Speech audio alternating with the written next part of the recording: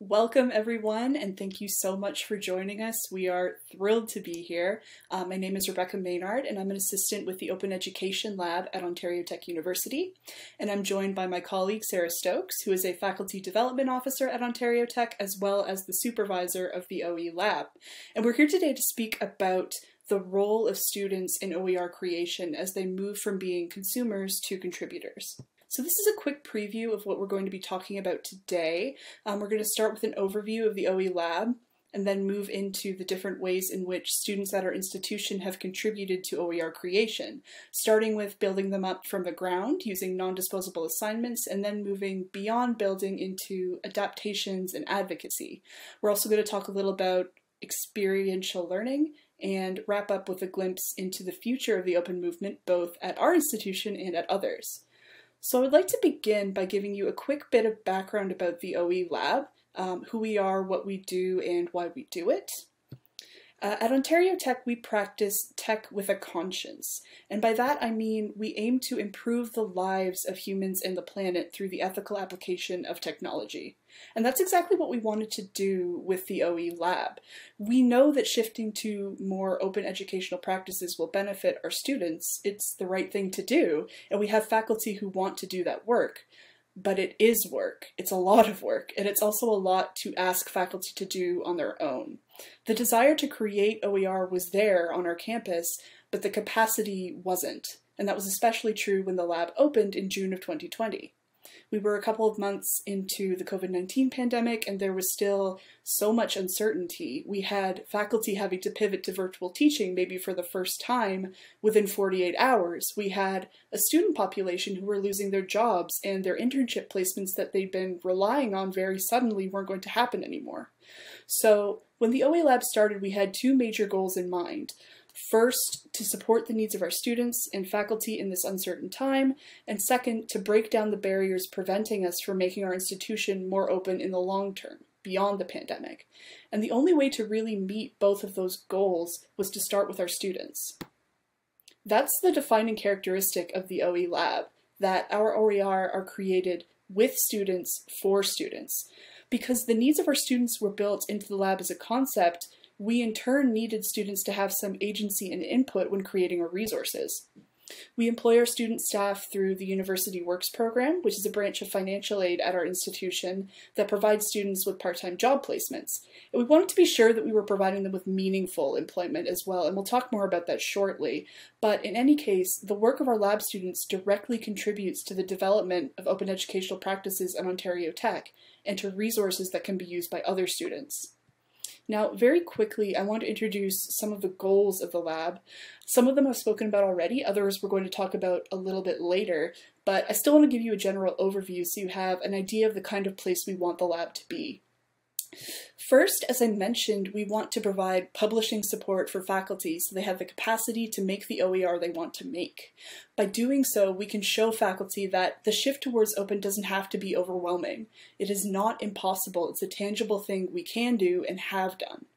Our other primary goals are all student focused. We want to make sure our students are paid for their work, for one, but on a larger scale, we want work at the OE Lab to be more than just a part time job. And we'll go into more detail about what that means for us later on, but I wanted to make it clear that from the beginning, the OE Lab was conceived to be a meaningful job experience, and we strive to maintain that in everything we do.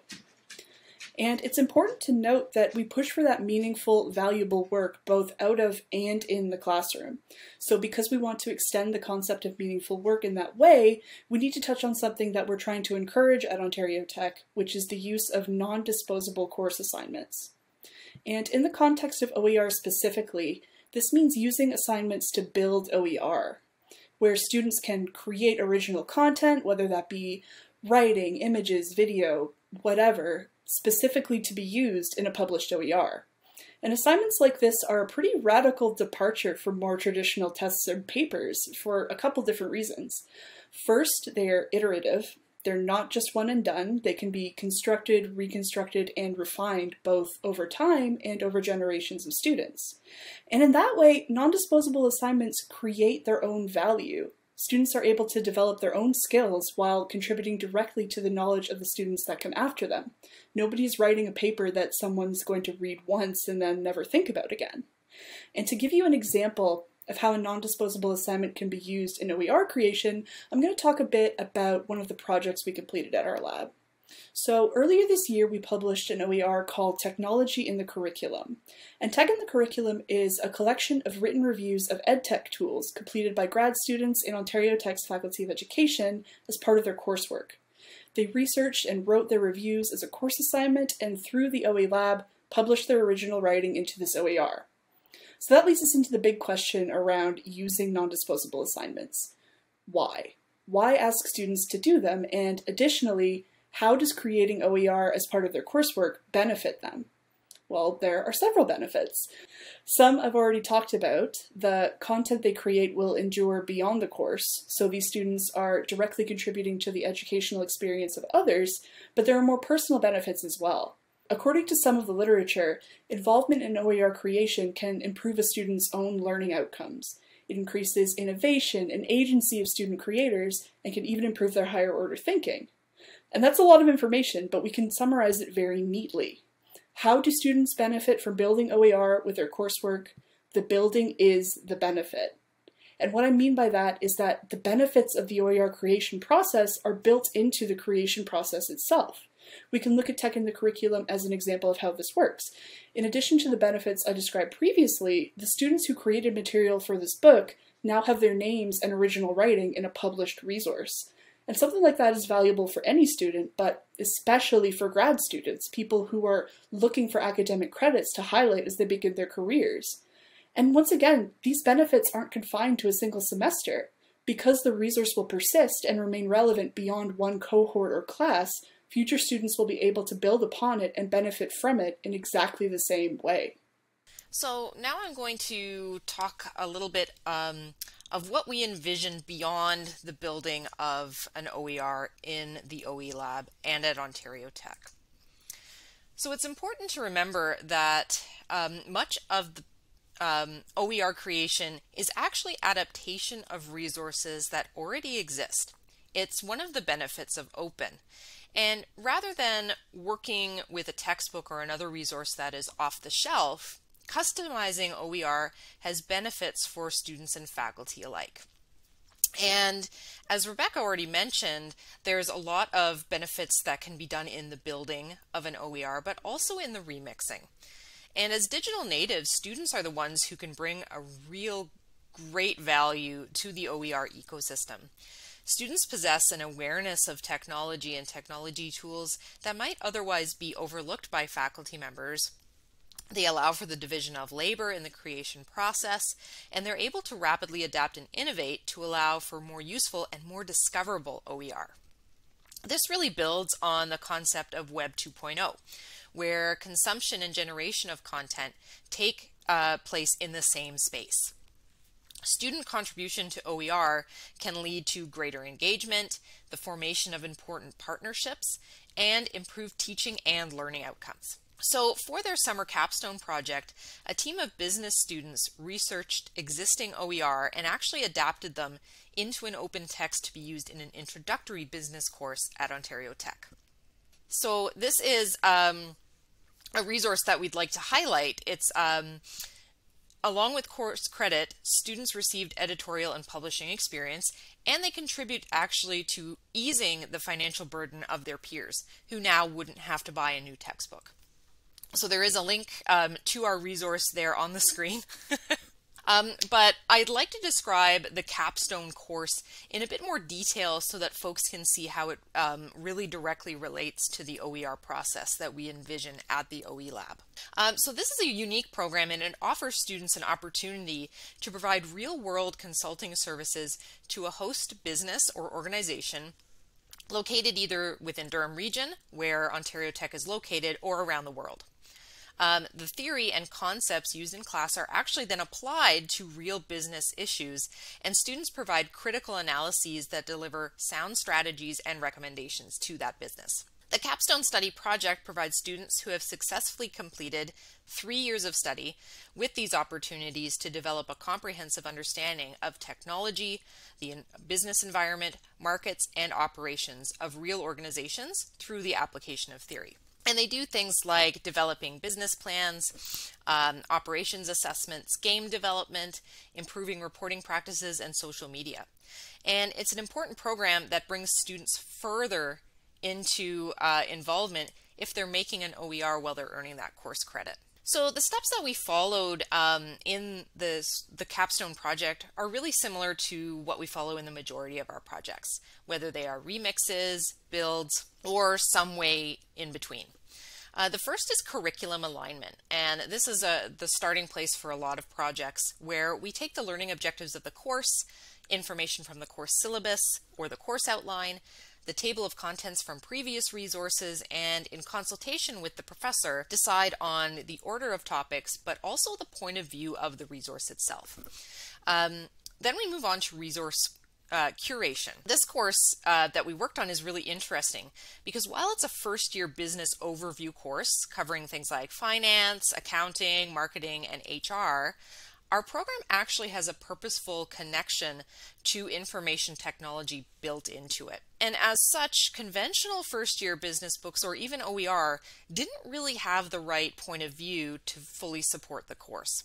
So this remix process allowed us to take a variety of first year business books and combine them with IT focused resources so it better meets the needs of our students. The next step comes the book planning, and it's really essential and a little bit arduous for a remix process where we have different books with different layouts of components, so different orders of introductions and examples and case studies, practice problems, uh, and the list goes on. And as a group, we really needed to work together to plan this out and make adjustments for areas where they were either different or missing entirely. Then we get to the most time intensive phase, which is the remix and writing. And it's actually the fun stage too. Um, it takes place after a lot of the, the hidden background work is completed. And this is where we fit the components together into a cohesive chapter. And finally, we edit for voice and flow. Um, this is something that maybe is overlooked a bit in the remix process because we need to make sure that the transition between the resources that we're using is seamless. And it can be hard to do, and it does require training and support, which the uh, OE Lab provides. One of the major challenges we've encountered in our time at the OE Lab is a lack of awareness about what we do, and frankly, a lack of awareness about OER in general. And that's not a new issue for people, I think. I think that's true for most initiatives like ours. So it's been a persistent question how can we encourage our institution to engage with us so we can get more uptake and involve more people in the open movement? And one useful strategy that we found is to let our students speak for themselves. Faculty uptake is a huge part of building a sustainable OER movement, of course, but the best possible ambassadors for OER are the people who are going to actually use them.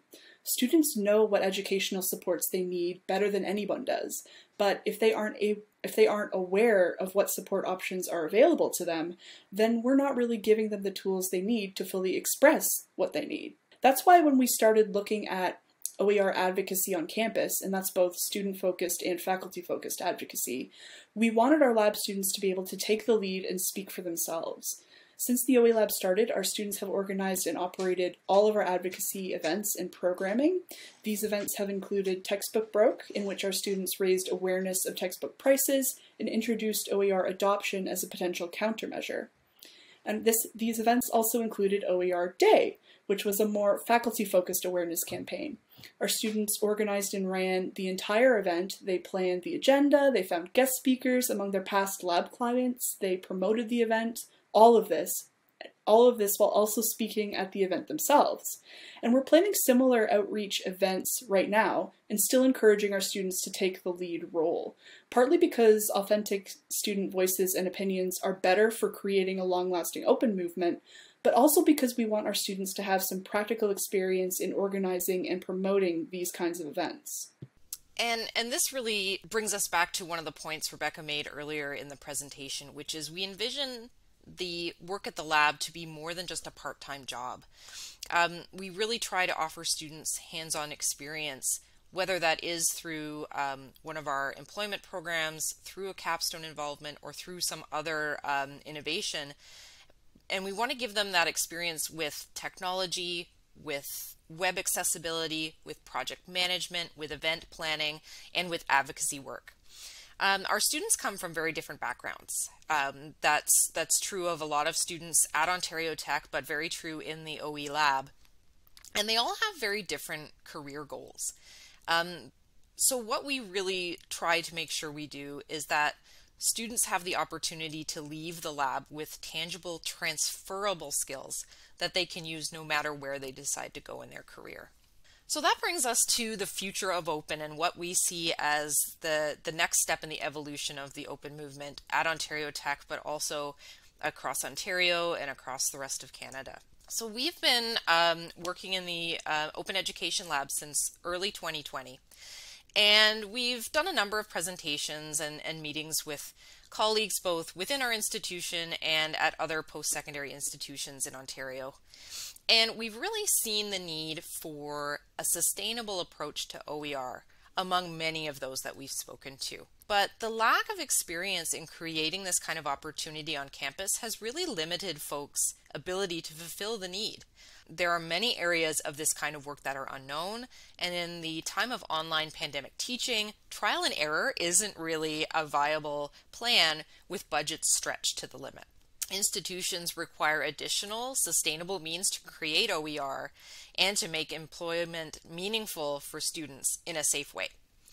So this is where we've looked into the creation of the Open Education Lab Network, where students will gain valuable experience working with interdisciplinary teams that span across institutions, with those lab network hubs built upon the Ontario Tech model housed at other institutions.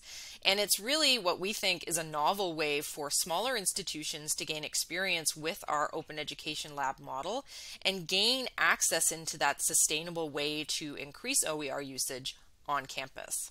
We'd also like to share some of our work with you if you are interested in joining the Open Education Lab network, and we've provided some shareable files for you here. We encourage you really to um, to follow the Open Education Lab and what we're doing at Ontario Tech University. We're happy to have you on social media, or if you're interested in speaking more about the Open Education Lab, please email us at oer at ontariotechu.com ca. And finally, we're, we're so thrilled to uh, be presenting here today. So thank you so much to the organizers of TESS, um, to the multimedia teams, to the audience who's watching us today, to my colleague Rebecca, and also to all of our students at the Open Education Lab. Thank you so much.